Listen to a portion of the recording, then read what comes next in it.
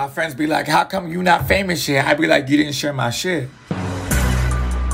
How come you ain't shared it yet? That's what I don't understand. That's why I'm not famous.